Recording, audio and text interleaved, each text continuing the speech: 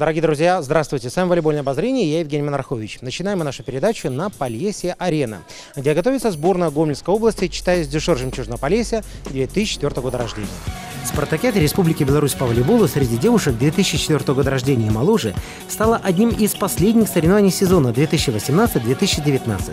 И можно посочувствовать девчонкам данной возрастной категории, которые в летнюю пору не играют в любимый волейбол на песке под открытым небом, а оттачивают мастерство в зале. Хотя это в какой-то степени профессиональные спортсменки, воспитанницы специальных волейбольных классов и тяготы тренировочных будней. Их, по идее, не должны сбивать цели, кое для сборной Гомельской области на республиканской спартакиаде всегда является победа. Хочу сказать, что до, до сих пор уже наверное, на протяжении лет 15 конкуренции в Омельской области мы не испытываем. Поэтому, с одной стороны, вроде бы как и плохо, с другой стороны, э, своими участием, вроде как престиж, статус. Э, ну, это очень почетно, конечно, представлять Гомельскую область. Э, ну, в первую очередь, конечно, э, мы представляем завод, э, наш город, э, школу в первую очередь. Хотелось бы, конечно, при участии в данных соревнованиях за Гомельскую область, конечно, не иметь поддержку все-таки областных структур вышестоящих в плане обеспечения инвентарем, э, формой, чего не происходит, конечно. И хочу сказать, чтобы специалисты не думали в Республике Беларусь, что так все очень э, просто, жемчужине удается. И, ну, то есть очень тяжело это все, э, и кадры свои растим, и, девочек э, рассматриваем, отбираем, поэтому то, что формируем классы сборной команды, конечно, труд, это, э, я могу сказать, это адский труд, и организационный, и финансовый, поэтому, ну, просто, конечно, он доставляет удовольствие, и очень приятно, что наша команда опять представляет э, Гомельскую область э, в спартакиаде школьников. Надеемся, конечно, как обычно, то есть э, ждем э, первое-третье место. Хотя будет очень тяжело, конечно, ну, в троечку попасть, конечно, это надо. Приятно и показательно, что с Дюшор Жемчужного Полесья имеет своих представителей в сборных командах страны и в классическом, и в пляжном волейболе. А ведь это совсем не просто готовить универсальных спортсменов, так как все девушки, выступающие на пляжных турнирах, это представительницы волейбола классического. Так или иначе, мы как спортивное учреждение, конечно, хотим, чтобы наше было представительство на национальной команде Республики Беларусь. Что касается волейбола, конечно, у нас прерогатива, приоритет, конечно, классический волейбол. Э, ну, естественно, если он не... э, и, конечно, пляжный волейбол, но пляжный волейбол только в том случае, конечно, если он не, не ущерб классическому волейболу. Поэтому стараемся, конечно, максимально по возможности летом, чтобы наши участники были в пляжном волейболе, представляли сборную Республики Беларусь на различных соревнованиях. Поэтому представители есть и в пляжном, и в классическом волейболе, конечно. Спартакиада школьниц принимала молодечно просторный игровой зал Ледового дворца. И в этой связи большим подспорьем являлся тот факт, что сбор к республиканским соревнованиям сборная Гомельской области, читай Жемчужина Полесья, проводила на Полесье арене, которая гостеприимно распахнула свои объятия перед лучшими волейболистками нашего региона 2004 года рождения.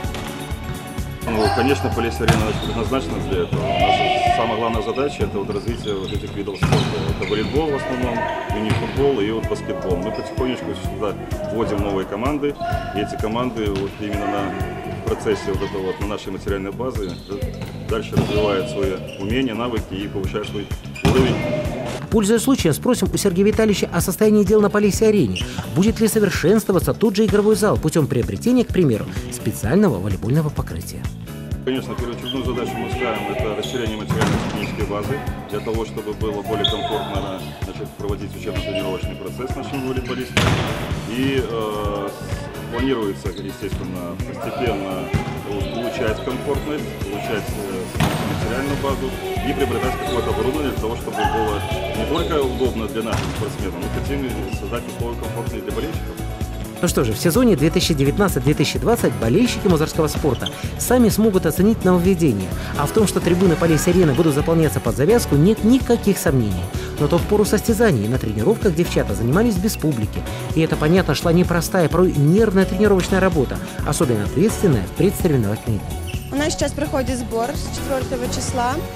Э, Проходит он в Полесье арене, 9 дней сборов. К сбору подключалась у меня девочка Настя Казинец, вызывали мы ее из училища Олимпийского резерва. Э, Конечно, все основные игроки – это мой 9 класс 9 школы, и две девочки подключались из 8 класса э, Коноплича Владимира Николаевича. Что касается результата, то каким его видела Галина Константиновна в преддверии главного республиканского старта года для девочек возрастной категории 2004-2005 года рождения. Если опираясь на результаты прошлой спартакиады, то можно сказать, что в принципе у нас по четвертому году все команды приблизительно равны. Поэтому сложно предугадать результат. Мы, конечно, нацелены на призовые места. Вот над ним пока и работаем. Над результатом Галина Константиновна работала не щадя ни себя, ни своих подопечных. Ведь только неустанным трудом можно было добиться мастерства достаточного для завоевания титула «Лучшая команда республики». На осеннем республиканском турнире этот титул достался волейболистка Молодечно, представляющим сборную Минской области. Сейчас на родной для себя арене действующие чемпионки, по идее, должны были выглядеть еще сильнее, но и наши спортсменки не зря провели сезон 2018-2019, тем паче, когда осенью сборная Гомельской области обыграла соперниц из Молодечно. Однако поражение от команд Гродненской и Могилевской областей не позволили жемчужинкам взять первенство. Тогда не позволили. На сей раз жила надежда, что дело будет обстоять иначе, и жемчужина Полесье, заняв одно из двух первых мест своей подгруппы, выйдет в финал четырех, а затем и завоюет золотые медали. Это вторая спартакиада, это спартакиада школьников. Э, Осенью у нас была первая, мы заняли второе место. Ну, мы очень хорошо сыграли с молодечно, надеемся, что в этот раз тоже их выиграем. Ну и надо постараться не проиграть остальным. Алина – основная пасущая своей команды, и от нее, как от дирижера атак, ждут многого. Соответственно, вели груз ответственности, который передается Живлаковой, или наша собеседница не испытывает привычного большинству спортсменов предсоревновательного волнения. Перед игрой, да, груз всегда есть э, в любой амплуа, но когда я играю, я полностью посвящаю себя волейболу, это меня отвлекает. Про цели и задачи нашей команды мы рассказали, а вот что думает Алина Живлакова относительно выступления своей команды на республиканской спартакиаде школьников. Нам ставят э, призовые места, цель, но, конечно, первое место, только первое. Девчонки являются ученицами специального спортивного класса, и это уже волейболистка с определенным опытом, определенными знаниями и уровнем спортивного мастерства. Мы волейболом занимаемся уже пять лет. За эти пять лет я много чего узнала нового и многому научилась. Как считает Ирина, чем сильна ее команда? Какие козыри на этой спартакиаде у сборной Гомельской области? Э, Я считаю, что в нашей команде все хорошо, и защита, и атака, и техника.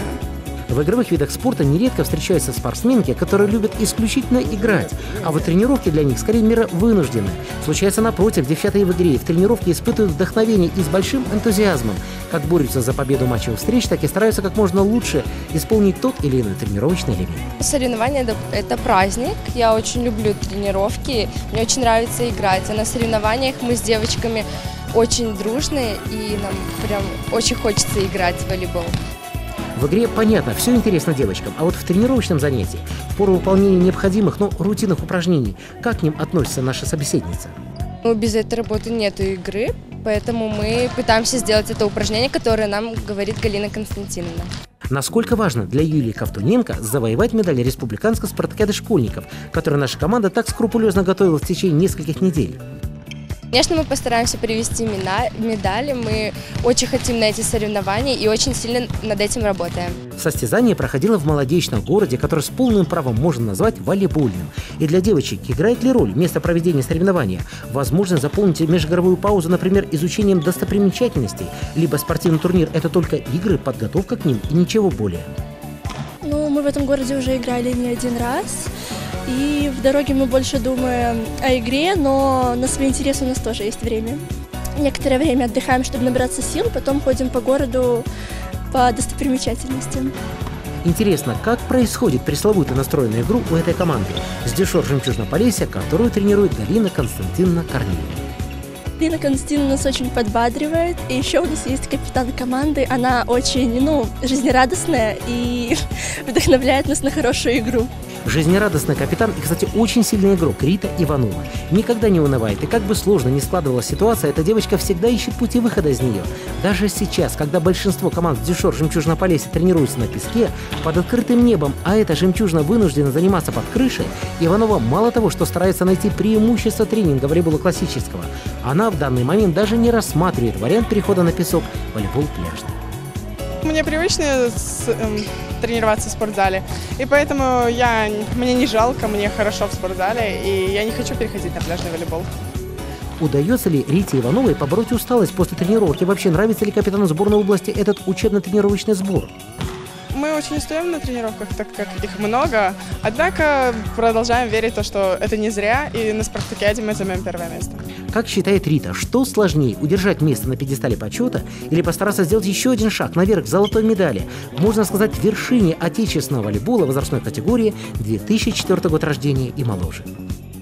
Наверное, сложнее будет все-таки занимать первое место, так как э, это труд, это постоянное стремление вверх, и мы будем очень стараться, чтобы просто занять первое место. Кроме волейболистов, с которыми нам удалось побеседовать, стоит отметить других лидеров этой команды. Анастасию Минаеву, Дарью Дербеневу, впрочем, все спортсменки, кто готовился к этой спартакиаде, является командой, которая сильна прежде всего своей сплоченностью. И начиная с 13 июня сборная Гомельской области начала свою турнирную поступь на республиканской спартакиаде школьни следующим образом. Поражение от команды Минска 0-3, что значительно затруднило продвижение нашей команды к наградам. Но затем случились победы над соперницами Минской и Могилевской областей 3-0, что позволило подопечным Галины Константиновны Корнеевой отобраться в кварте сильнейших команд. Однако там случилось поражение от команды Груднинской области 0-3, что определило нашу команду на итоговое четвертое место вне зависимости от результата завершающей встречи, которую, кстати, наша команда выиграла со счетом 3-2. Повержена оказалась команда Брестской области, занявшая в итоговой таблице второе место. Бронзовые медали у городнинчанок на высшей ступени пьедестала почета столичные спортсменки. Но ничего, эти жемчужинки еще нынешним летом получат шанс завоевать медали республиканской спартакиады, но по волейболу пляжному в июле. А уже на этой неделе за победу на первенстве Республики Беларусь на возрастной категории 2003 год рождения и моложе поборются старшие спортсменки с дюшор жемчужного Полесья, и одной из соискательниц наград станет Екатерина Деева, которая на прошлой неделе держала победу на отборочных областных состязаниях. На области я играла в паре с Сашей Чуб. Э, Мы заняли первое место. В финале мы играли с Новой Гутой и успешно выиграли 2-0. И сейчас скоро поедем на республику занимать призовые места, я надеюсь. Катя в преддверии областного тура проходила подготовку в составе национальной команды, а она готовилась к европейскому первенству среди девушек по пляжному волейболу, и это наверняка принесло свои плоды. То, что я была на сборах э, Минске, это, конечно же, помогло. У меня там появилось больше опыта, и я узнала очень много нового. Конечно, это помогло на области. Ну, конечно, у каждого тренера по-своему, и там, наверное, больше взрослый волейбол идет. Эм, Я старалась показать то, что могла, ну и как бы тоже набираться опыта у других девочек, что они умели уже в этот момент. Любопытно, с кем в паре будет играть на республиканском первенстве Екатерина, и какие роли будут исполнять девочки на песчаной площадке. Скорее всего, на республике я буду играть с Сашей Чуб. Э, Я иду больше в роли блокирующего, а она в роли защитника. И как бы так в волейболе пляжном всегда устроено, то есть э, ну, можно заменять друг друга. На какое место настраивается Катя на республиканском первенстве? Как рассчитывает Деева выступить, защищая честь сборной Гомельской области и своей родной с дюшор Жемчужно-Полесье? На республике, я надеюсь, мы займем призовые места и даже должны первое место занять, в принципе, если постараемся. Главное не допускать своих ошибок и поддерживать друг друга. На республиканском первенстве сборной Гомельской области существенно усилится Анна Карабинович, которая вместе с брещанкой Викторией Костючик и под руководством своего тренера Надежды Васильевны Родоповской на прошлой неделе в австрийском Бадене играла матчи чемпионата Европы среди девушек до 18 лет по пляжному волейболу. И уступив на групповой стадии испанкам, литовская паре, но обыграв финнах, наша команда вышла в плей-офф, где, к сожалению, уступила чешская сборная будущим обладательницам бронзовых медалей. Уже знакомые нам испанки вторые, а чемпионками Европы среди девушек 2002 года рождения моложе стали российские спортсмены. Кстати, эта пара, Анна Карабинович и Виктория Костючек, может завоевать награды международного турнира в этом году. Причем самого престижного чемпионата мира, но по волейболу классическому. В начале сентября Египет принимает финальный этап планетарного первенства среди девушек 2002 года рождения и моложе.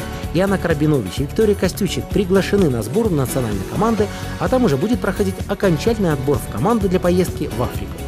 И уж точно, в Африке будет играть наша следующая собеседница, пожалуй, главная звезда белорусского девичьего волейбола Дарья Вакулка, сезон 2018-2019, выступавшая за команду Республиканского государственного училища Олимпийского резерва. По окончании сезона Даша приехала в родной Мозырь, и мы не могли не воспользоваться возможностью взять у воспитанницы с дюшор Жемчужнополесья интервью.